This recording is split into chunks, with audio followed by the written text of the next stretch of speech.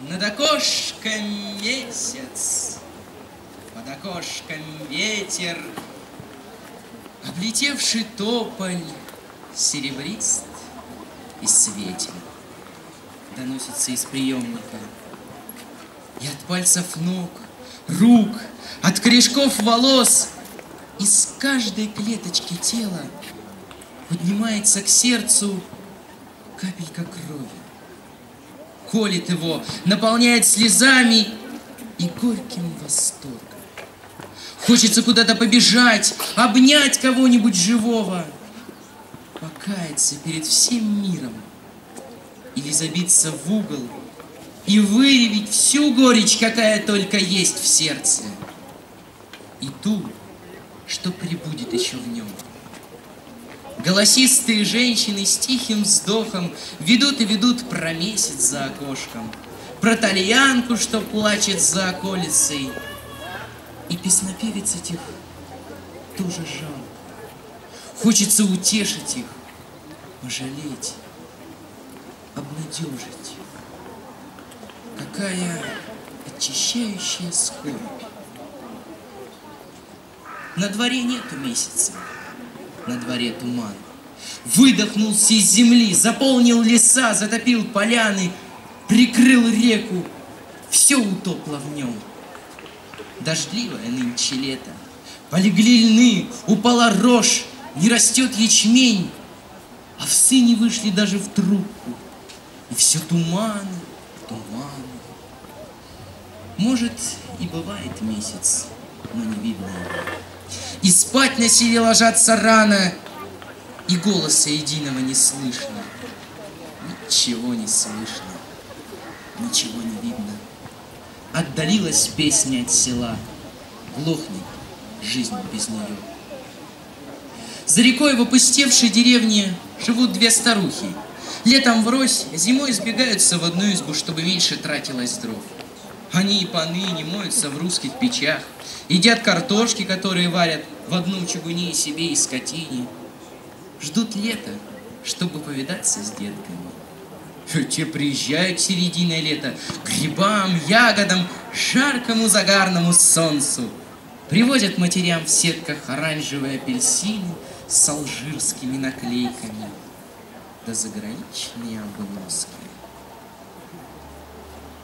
Бы, матерям-то, Обувку бы покрепче, по непромокаемой, Мучки бы белой да сахарку бы.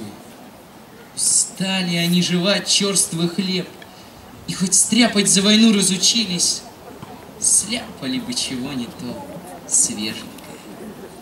К магазину им не пробиться, как ударит подера, Заметет снегом поля, заторосит реку. Зима и вовсе отрежет их от мира. Пробовали на лыжах, падает, старый больный. Приезжал к одной бабке сынок из Ленинграда. Зимой от чего-то прибыл.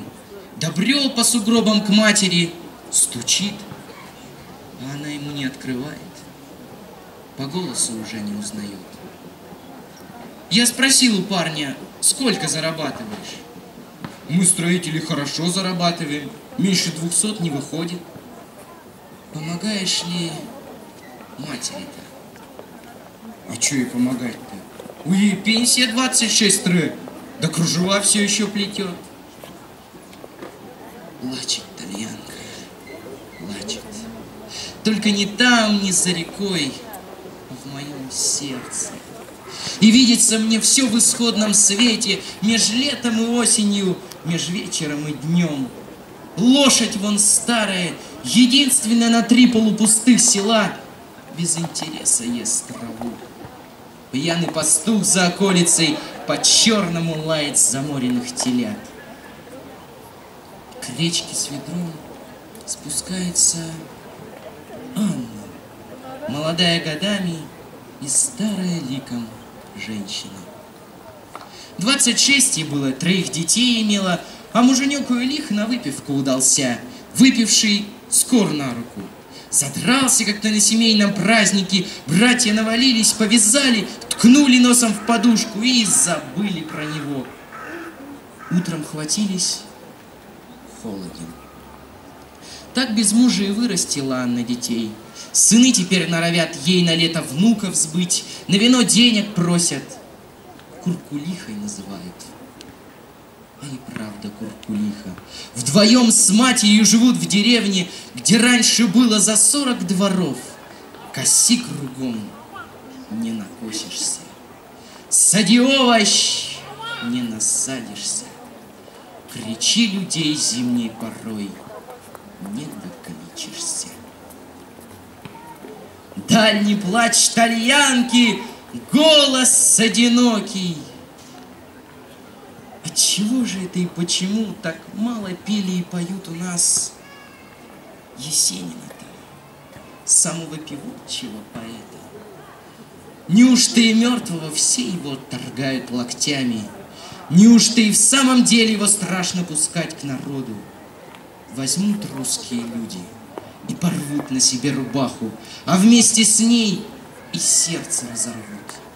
Как мне сейчас в пору выскрести его из тела, из мяса, чтоб больно и боязно было, чтоб отмучиться той мукой, которую не перенес, не пережил поэт, разом страдающий всеми страданиями своего народа и мучаясь за всех людей, за каждую живую тварь, недоступной нам Всевышней мукой, которую мы часто вспоминаем в себе, и потому льнем, тянемся к слову рязанского парня — чтобы еще еще раз отозвалась, разбередила нашу душу его боль, его всесветная тоска. Я часто чувствую его таким себе близким и родным, что и разговариваю с ним во сне, называя его братом, младшим братом, грустным братом. И все утешаю, утешаю его. А где утешишь? Нету его сиротинки горемычной. Лишь душа светлая витает над Россией и тревожит, тревожит нас. Над окошком месяц, тьма за окошком, пустые села и пустая земля. Слушать здесь Есенина невыносимо. Я и сам когда-то пел, не уставая, Где ты, моя липа, липа вековая? А и в самом деле, где ты, наша липа, липа вековая, Теплый очаг, месяц, Родина моя Русь? Где ты? Лежат окрест туманы, плотно, недвижно, Никакой звук не пробивается. Едва-едва Блеклым пятнышком просочился из реки свет в деревенском окошке. Живы старушки, наработались, ужинают. Вечер еще длится или уже ночь. На траве мокро, с листьев капает, Фыркает конь в мокром лугу, Умолк за деревней трактор — и лежит без конца и края в лесах и перелесках, среди хлебов и льнов, возле рек и озер с умолкнувшей церковью посередине, оплаканная русским певцом Россия. Смолкни военная труба, уймись, велеречивый оратор, не кривляйтесь, новомодные ревны. Выключите магнитофоны и транзисторы, ребята. Шапки долой, Россия! Есенина